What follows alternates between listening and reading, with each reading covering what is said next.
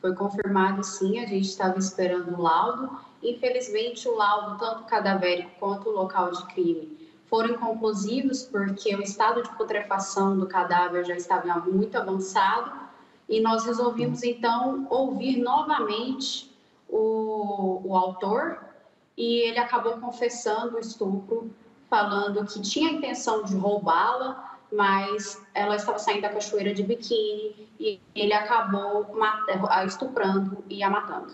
Doutora, deixa eu te fazer uma pergunta é, bem peculiar do, do inquérito da senhora. A senhora não, você, né? Porque é tão jovem que eu fico até constrangida em dizer senhora, você, com toda a sua competência. Mas na hora que a senhora conclui, a hora que a senhora conclui esse inquérito, é, existe alguma maneira da Polícia Civil dizer, porque a gente não pode falar que é loucura, mas ele é muito frio. Eu acho que eu nunca tinha visto um rapaz tão jovem assim e tão frio e que conta com tanta clareza os seus crimes cometidos.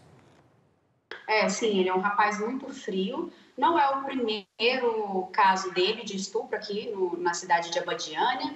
Ele já tinha tido, quando era menor de idade, dois atos infracionais análogos ao estupro. Foi isso que nos levou a pensar que ele poderia também ter estuprado a japonesa.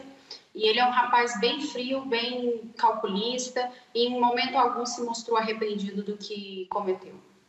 No momento do interrogatório, o qual ele prestou a você, doutora Polícia Civil, ele olha no olho da autoridade? De que forma ele se comporta Não, diante? Não, sempre de cabeça baixa, sempre de cabeça baixa. Olha, gente, é uma situação tão delicada, porque agora isso é remetido né, à justiça, a justiça, a partir de agora, que tem que tomar conta, porque mais provas que a Polícia Civil conseguiu reunir para esse inquérito é impossível. A senhora tem muita coisa, muita coisa que prova realmente o que esse homem fez, a tamanha frieza e maldade que ele agiu com essa turista. Sim, a gente tem várias provas, a confissão dele, é, o laudo cadavérico, porque ele havia falado que tinha enforcado, né, matado, matado por asfixia.